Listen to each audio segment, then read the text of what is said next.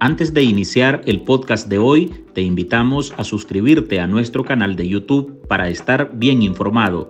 youtube.com pleca artículo 66 NICA. Suscríbete y activa todas las notificaciones.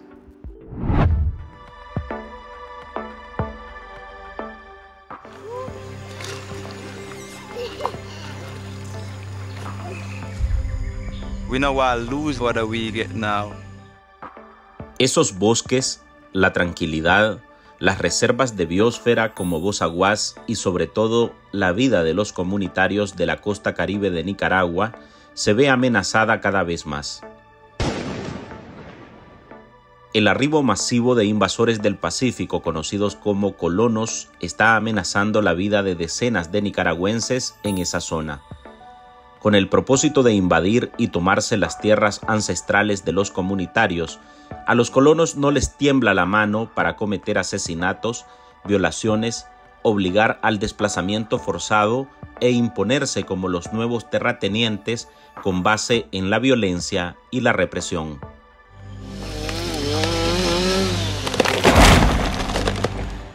Esos grupos operan bajo el amparo del Estado que encabeza Daniel Ortega y Rosario Murillo. El despale avanza y la explotación minera en las zonas boscosas amenaza los ríos y la fauna. Las concesiones mineras, en particular a empresas chinas, crecen a paso veloz. Trece concesiones a tres compañías del gigante asiático dan cuenta de ese acaparamiento. Los empresarios de Xi Jinping buscan oro en las tierras de la costa caribe de Nicaragua, en esas tierras olvidadas que los gobernantes y sus operadores han saqueado a manos llenas.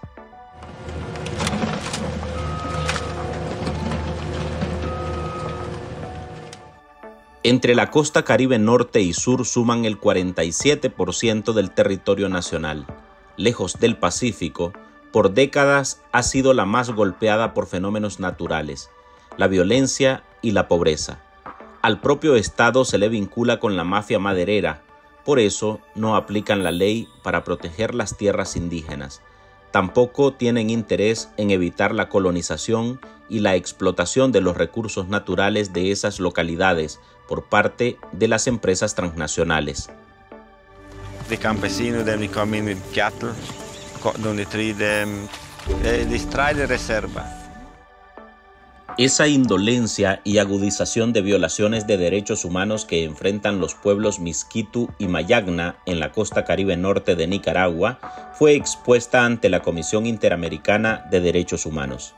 Son hechos que se han extendido a lo largo del tiempo, la propia Corte IDH en el 2015 dictó medidas de protección a favor de los pueblos Misquitu y Mayagna. Sin embargo, casi 10 años, la situación sigue siendo grave y en palabras de los pueblos se enfrentan a un etnocidio.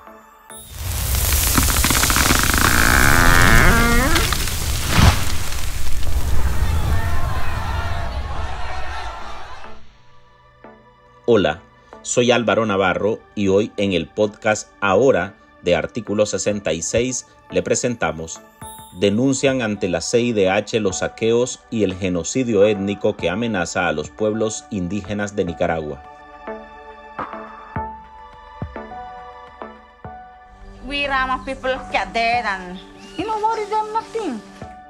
A los ramas nos pueden matar y no les importa declaró una pobladora de la costa caribe sur de Nicaragua para el documental Patrullaje, que retrata el conflicto ambiental cada vez más violento que enfrentan los comunitarios de esa zona de Nicaragua por proteger de los colonos su biodiversidad. Without biodiversity, there's no clean water, there's no clean air.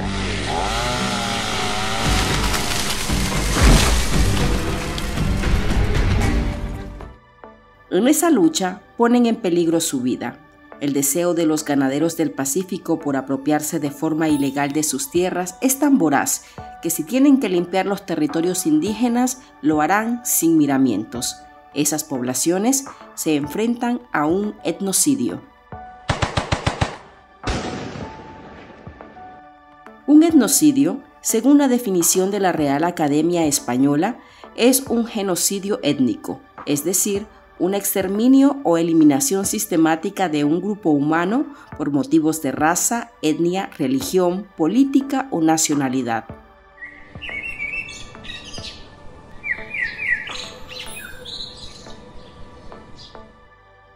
A esos niveles creen que está llegando la situación de violencia y represión en la costa caribe de Nicaragua. Frente a esto, el Centro por la Justicia y el Derecho Internacional, el Observatorio de Pueblos Indígenas y Afrodescendientes de Nicaragua, el Centro de Asistencia Legal a Pueblos Indígenas, la Fundación del Río, la Organización Mundial contra la Tortura y el Instituto Regional sobre Raza, Igualdad y Derechos Humanos se unieron para denunciar ante la CIDH esa situación aprovechando el espacio en audiencia de pueblos indígenas de la costa caribe norte y violaciones a la libertad de religión. Presentarán ante los comisionados datos actualizados sobre la situación de violencia y represión que viven las comunidades como parte del despojo de sus territorios por parte de terceros colonos paramilitares con directo, con directo del Estado de Nicaragua.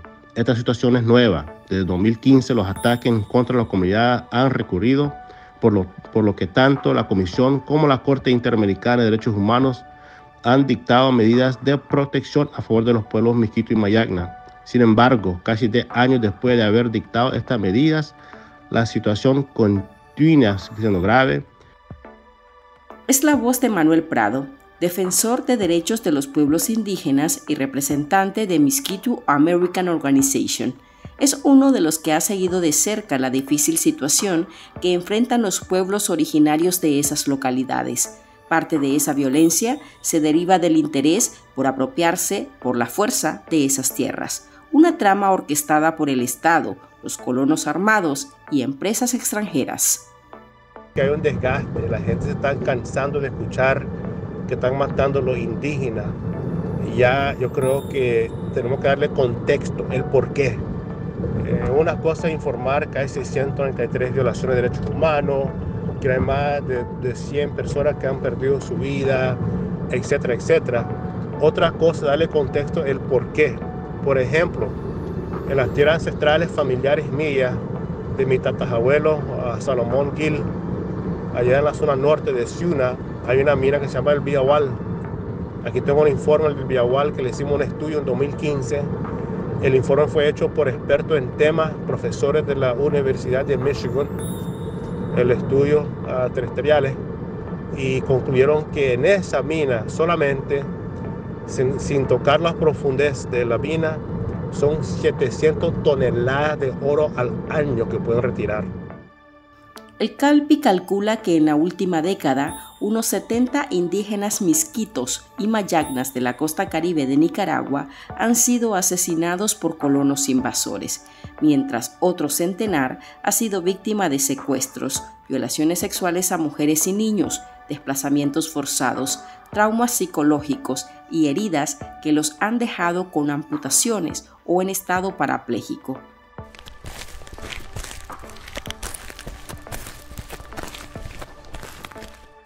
En la audiencia se presentó un panorama de los hechos que afectan a esas comunidades, revelando que las consecuencias de esa violencia contra esos pueblos deriva en masacres, crisis humanitaria en la región, apropiación ilegal e ilegítima del territorio indígena a través de acciones intimidatorias que vulneran los derechos más básicos de los comunitarios. Las abogadas Saitami Ordóñez y Camila Ormar participaron en esta audiencia para denunciar esos ataques contra las poblaciones indígenas caribeñas.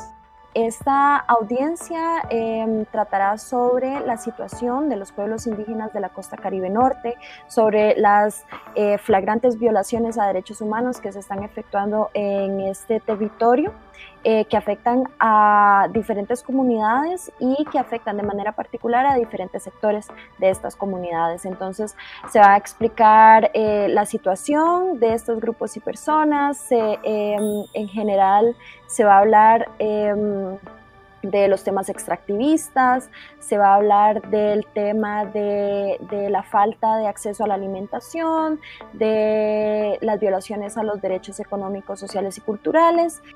Permiten mostrar que no se trata de un hecho aislado, que no es una masacre o que no es la invasión a una porción de territorio, sino que son hechos constantes que se repiten a, lo largo del tiempo y que son ataques en contra de las comunidades indígenas.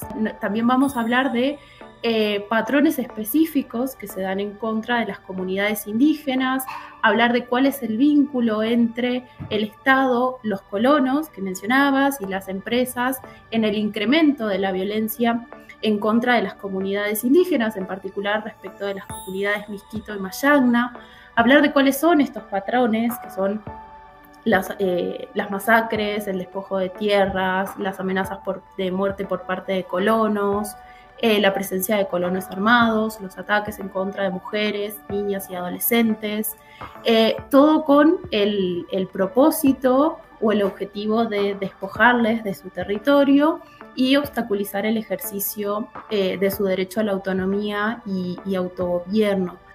En la audiencia señalaron que el Estado promueve la inversión extranjera mediante la venta y arriendo ilegal de territorios indígenas, impulsando la ganadería extensiva y actividades extractivas eso ha derivado en una cohabitación forzada entre colonos e indígenas que terminan en amenazas, agresiones y asesinatos contra los locales si no entregan sus tierras.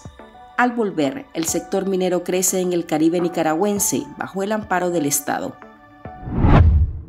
En artículo 66, un equipo de periodistas hemos asumido el desafío de seguir informando sobre Nicaragua pese a la persecución, las amenazas, el exilio y el bloqueo impuesto contra la prensa libre. Mantener esta trinchera en defensa de las libertades públicas de todos los nicaragüenses es un compromiso que hemos asumido porque Nicaragua nos necesita.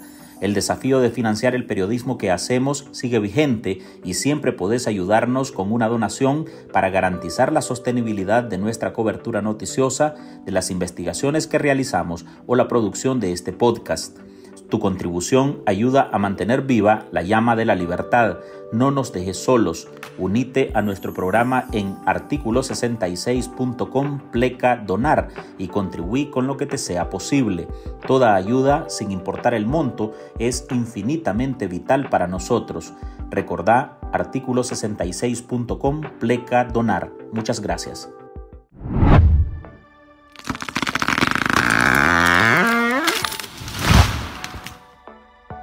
Las organizaciones participantes explicaron en el marco del 190 periodo de sesiones de la Comisión Interamericana la preocupación por el aumento exponencial de los ataques a comunidades indígenas por colonos armados. Registran 643 casos de violaciones de derechos humanos en el primer semestre de 2024. Otro de los puntos focales fue el avance de la minería. Entre 2007 y 2022, ese sector recibió 2.524 millones de dólares de inversión extranjera directa, principalmente de capital chino, canadiense y colombiano, instalándose sin consultas previas en los territorios indígenas y sin medir el impacto medioambiental.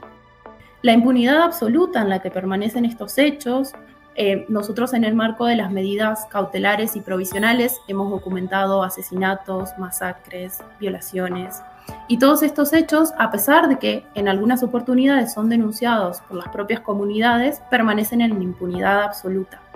En otras oportunidades no pueden ser denunciados por el temor que sienten estas propias comunidades eh, frente a las eh, autoridades para denunciar estos hechos. A esta situación también se suma todo lo que tiene que ver con las concesiones mineras que se realizan en los territorios de la costa caribe norte sin ningún tipo de consulta a las comunidades, es decir, en total irrespeto de los estándares internacionales que están en la materia.